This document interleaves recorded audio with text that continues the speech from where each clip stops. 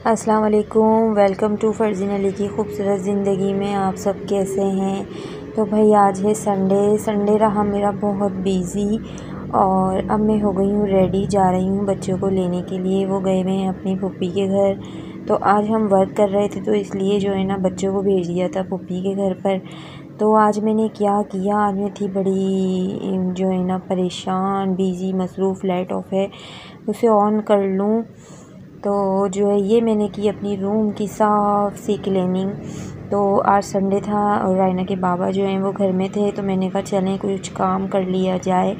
तो रूम की सफ़ाई तो बहुत ही रोज़ाना ही होती है, लेकिन आज डीप क्लीनिंग हुई और ये है हमारा डाइनिंग एरिया घर बहुत छोटा है, कपड़े बहुत सारे जमा हो गए थे, मैंने वॉशिंग एरिया फैलाया हुआ था। तो इस तरह से हमें जो है ना, घर में ही सुखाने पड़ते हैं। तो ये है जो है हमारा जो है डाइनिंग एरिया और इसी में मैंने सुखा दिए ये कपड़े। संडे का दिन मैंने यूँ सजेस्ट किया थोड़ी सी हेल्प हो जाएगी हस्बैंड थोड़ी सी हेल्प कर देंगे। तो उन बेचारों ने करवाया मेरे साथ बहुत काम, ये निकाले हमने अपने ब्लैंकेट और इनको भी जो है ना मैंने वॉश कर दिया ख़ुद से।